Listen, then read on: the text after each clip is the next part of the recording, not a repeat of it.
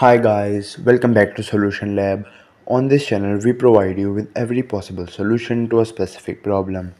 Whether it's a quick fix or a detailed tutorial, we're here to help. So without any further delay, let's jump right into the video. So in today's video, I'm gonna show you how you can easily create an account on BandLab app.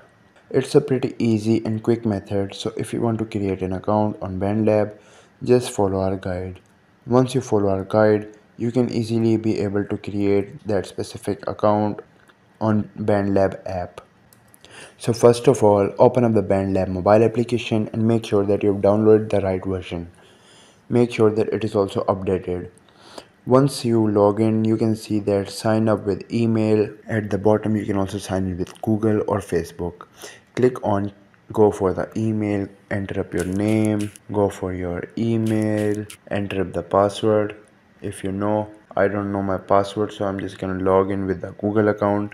The process is same so just make sure to log in with your email specifically.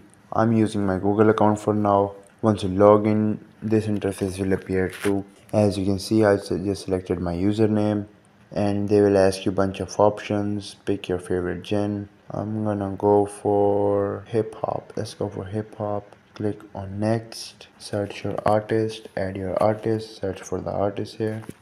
Click on done. You can also skip all of these. I'm not gonna permit the notifications. Otherwise you can do it. And that is how you can create a successful account on BandLab app I hope this tutorial was helpful. If it was, please give it a thumbs up and consider subscribing to Solution Lab for more helpful tutorials. If you have any queries, leave them in the comments below. Till then, take care. See you next time.